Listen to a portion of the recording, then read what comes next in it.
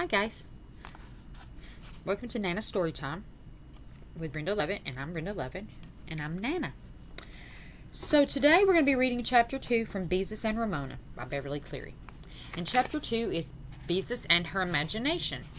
So let's dive right in. Beezus and Ramona both look forward to Friday afternoons after school. Be- Beezus because she attended the art class in the recreation center in Glenwood Park, and Ramona because she was allowed to go to the park with Beezus and play in the sand pile until the class was over. This Friday, while Beezus held Ramona by the hand and waited for the traffic light to change from red to green, she thought how wonderful it would be to have an imagination like Ramona's. Oh, you know, Ramona. Her imagination runs away with her, Mother said, when Ramona made a, up a story about seeing a fire truck crash into a garbage truck. That child has an imagination, a mile long. The Quimby's grown up friends remarked when Ramona sat in the middle of the living room floor in a plastic wading pool she had dragged up from the basement, and she pretended she was in a boat in the middle of the lake. Did you ever see so much imagination in such a little girl? The neighbors asked one another when Ramona hopped around the yard pretending she was the Easter Bunny. One spring day, Ramona had got lost because she started out to find the pot of gold at the end of the rainbow. The rainbow had appeared to end in the park until she reached the park but then it looked as if it ended behind the supermarket. When the police brought Ramona home, Father said, Sometimes I think Ramona has too much imagination. Nobody reflected.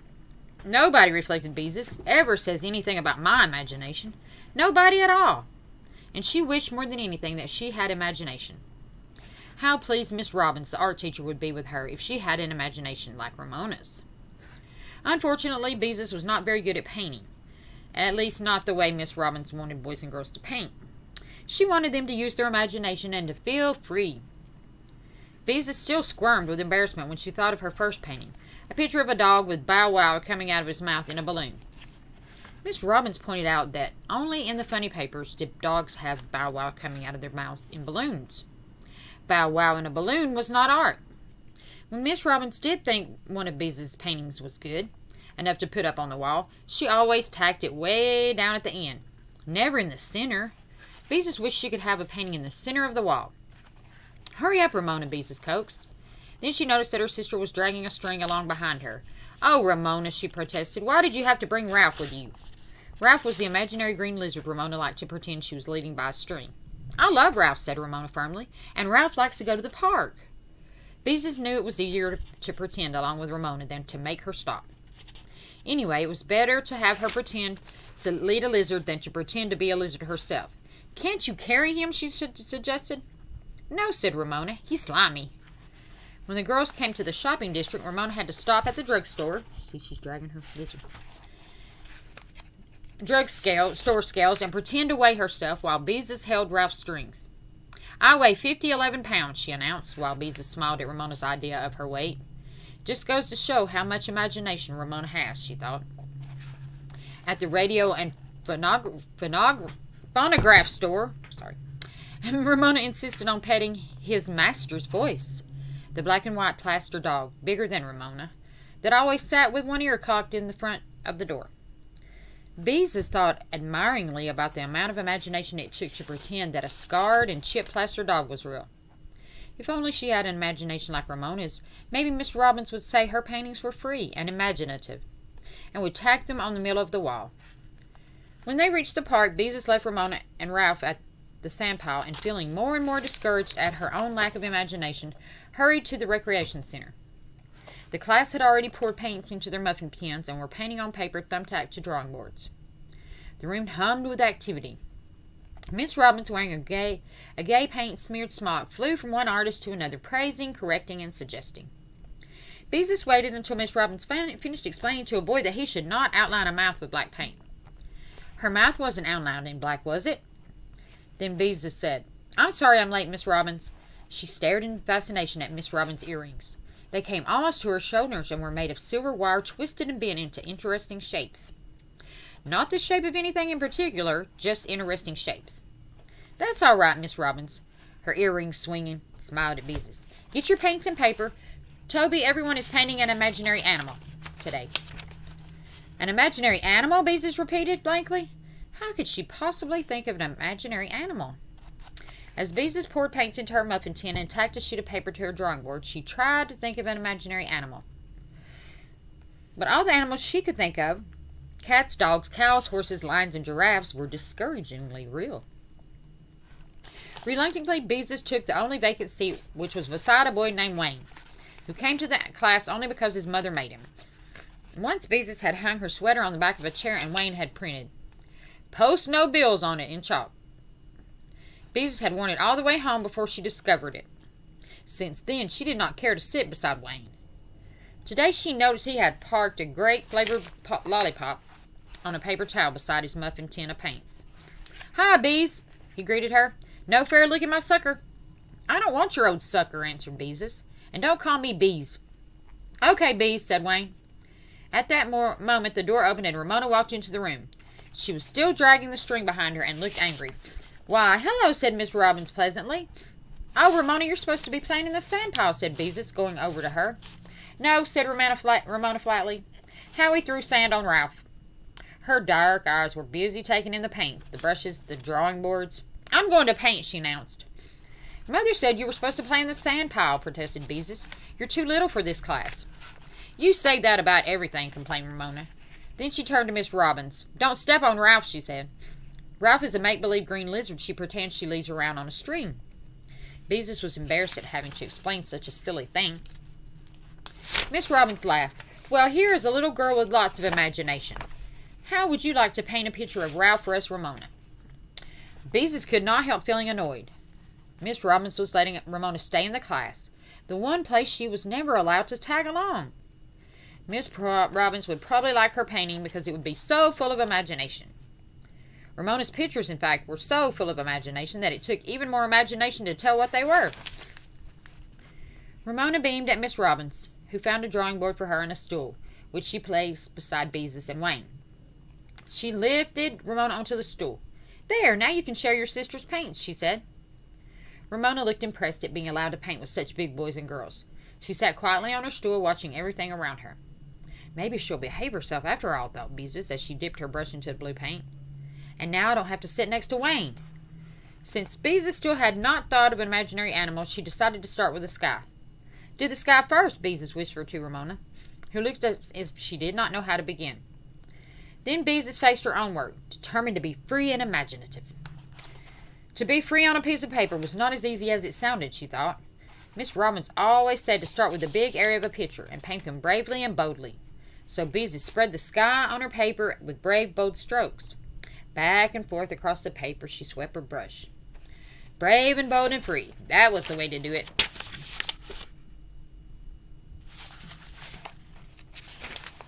Her sky turned out to be too wet, so while it dried a little, Beezus looked at what the other boys and girls were doing.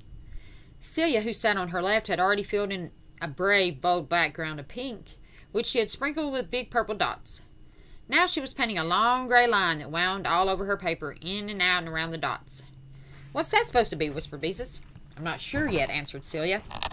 Beezus felt better because Celia was the kind of girl who usually knew exactly what she was doing and whose picture was often tacked in the center of the wall. Oh, see, sleepy makes me. I mean, reading makes me sleepy. The boy on the other side of Celia, who always wanted to paint airplanes, was painting what looked like a giraffe made of pieces of machinery, and another boy was painting a thing that had two heads. Hmm. Beezus looked across Ramona to Wayne,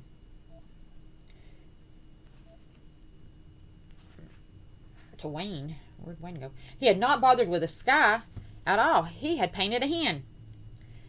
Beezus knew it was a hen because he had printed in big letters. This is a real hen. With an arrow pointing to it. Wayne always tried to do just the opposite of what Miss Robbins wanted. Hey, quit peeking, he said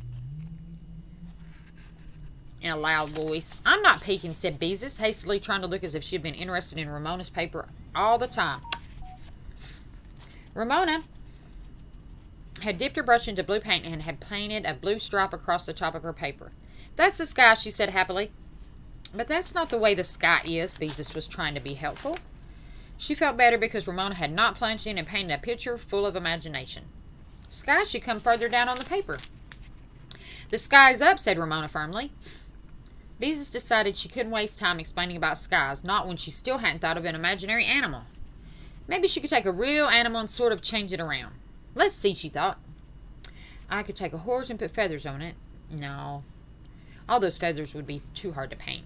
Wings, that was it. A horse with wings. Was an imaginary animal. A real imaginary animal? Because Mother had once read aloud a story about Pegasus, the winged horse, out of a library book. In the story, Pegasus had been white, which was a real horse color. Beezus decided to be extra imaginative. She would make her horse green. A green horse against a blue sky. Miss Robbins ought to like that.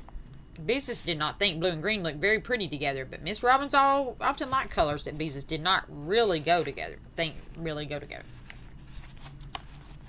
Beezus dipped her brush into green paint and outlined a wing against the sky. Next, she outlined the body of, of the horse and a long tail that hung down. It was a magnificent horse. At least Beezus hoped it would look magnificent when she finished it. Anyway, it was big because Miss Robbins liked her artist to cover the whole paper. Quickly and neatly, Beezus filled in the outline of the horse because Miss Robbins, who was looking at Celia's picture, would look at hers next. Somehow the horse was not exactly what Beezus had in her mind's eye, but even so, compared to what Celia... Oh, I got lost.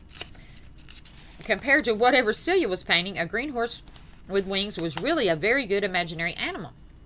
And except for a few soggy places in the sky, her work was much neater than Celia's.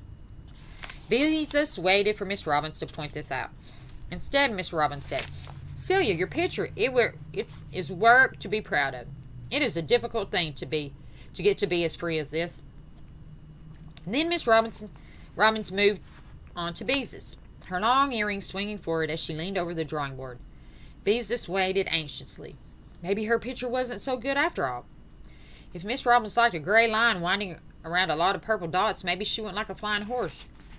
Maybe she liked things with no special shape, like those earrings. You have a good sky, even if it is a little wet, said Miss Robbins. Beezus was disappointed. Anybody could have a good sky. Miss Robbins continued to study the picture. Try to think how a horse would look as if it were flying. Really flying. Beezus tried to think. What about the tail? asked Miss Robbins. Wouldn't the tail fly out behind instead of hanging down? Especially if the wind blew real hard, said Wayne. Can't you make the horse look rounder? asked Miss Robbins. Think how a horse looks with the sun shining on him. Part of him would be in shadow. Not that horse, said Wayne. She just copied it off of Mobilgas billboard, only she made it green instead of red. I did not, said Beezus indignantly. Then she stared at her painting again. Now that Wayne pointed it out, she could see her horse did look a lot like the one on Mob mobile mobile gas billboard. That's what that was. Mobile gas. What did I say? At the service station where her father bought gasoline. He was a flat cardboard horse, not a magnificent horse at all. Her horse wasn't even as good as the horse on the billboard, because instead of a flying tail, he had a tail that hung down like, mm, well, like a mop. All right, Wayne, said Miss Robbins. I'm sure Beezus did not mean to copy anything from a billboard. No, I didn't, said Beezus.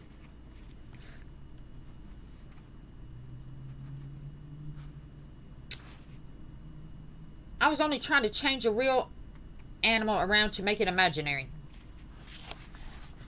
But I just don't have imagination, is all. Why, Beezus, you, of course you have imagination. Miss Robin sounded shocked at the idea of anyone not having imagination. My little sister has lots of imagination, said Beezus. Everybody says so. Miss Robin smiled reassuringly. That doesn't mean you don't have any. I think your trouble is that you work too hard. You don't have to be so neat. Why don't you start another painting and just Try to have a good time with your paints. Beezus looked uncertain. It was a nice change to have a grown-up tell her she didn't have to be neat, but she didn't understand how she could paint a good picture unless she worked at it. If only she had some imagination like Ramona.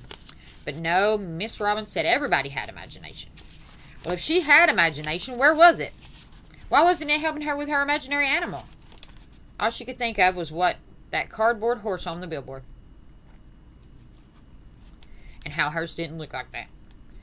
Beezus glanced at Ramona, who had been surprisingly quiet for a long time, to see how she was coming along with her picture of Ralph. Except for the stripe of sky at the top, Ramona's paper was blank.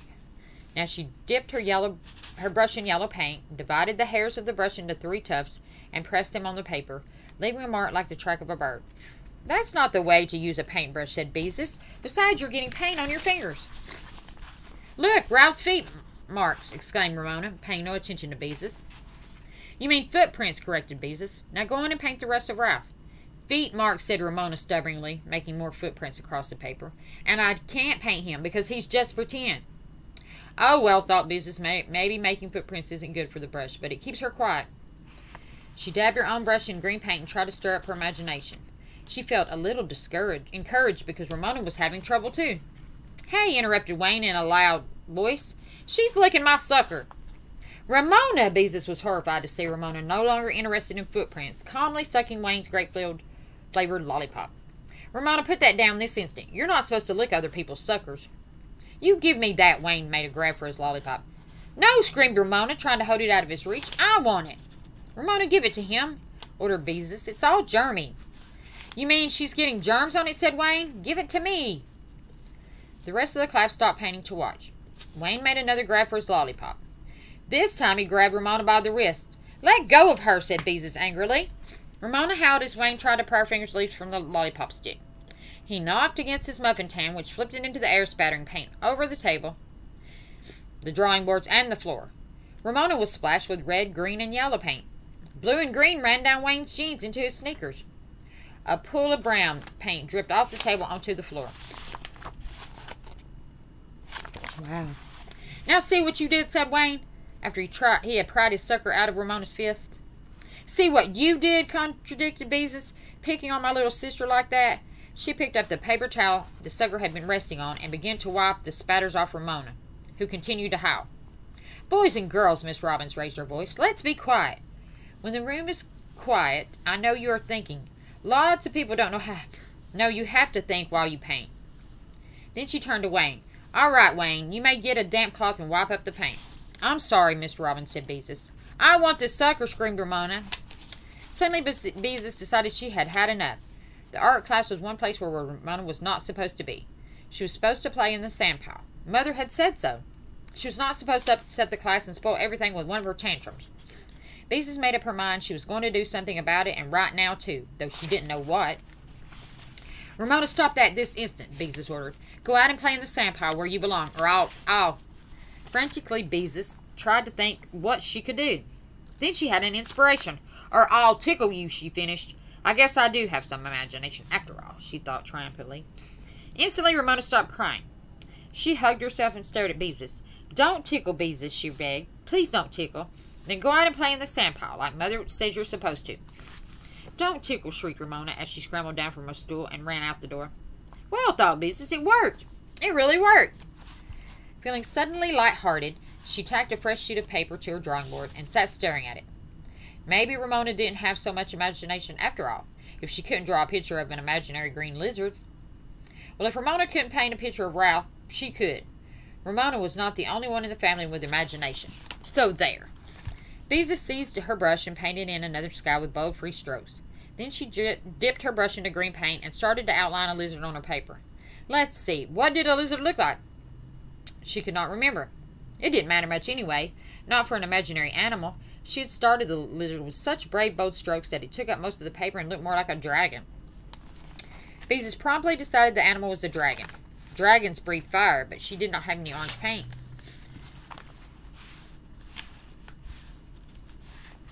I don't think it changed paint. And she was so late in starting this picture that she didn't want to take time to mix any. She dipped her brush into pink paint instead and made flat flames come out of the dragon's mouth. Only they didn't look like flames. They looked more like the spun sugar candy Beezus had once eaten at the circus. And a dragon breathing clouds of pink.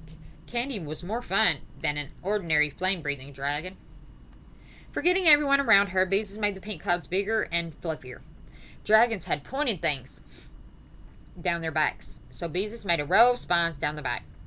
They did not look quite right, more like slanting sticks than spines. Lollipop sticks, of course. At that, Beezus laughed to herself.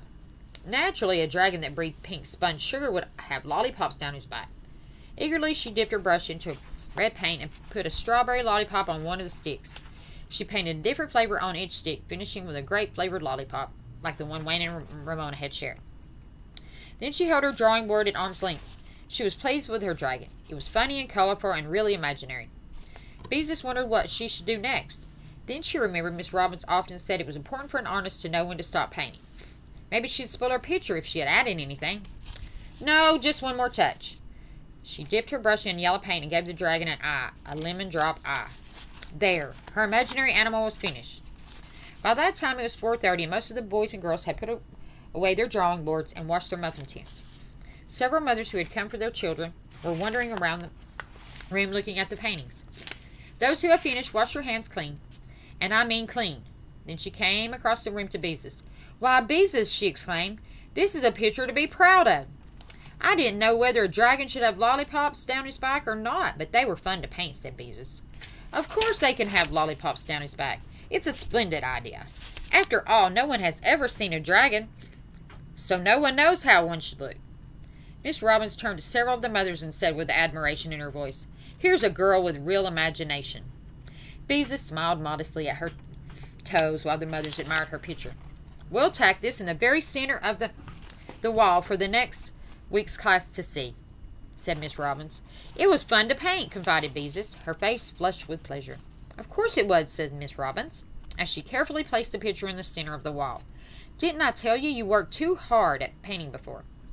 Beezus nodded. That was the that was the wonderful thing about it, she thought as she scrubbed out her muffin tins.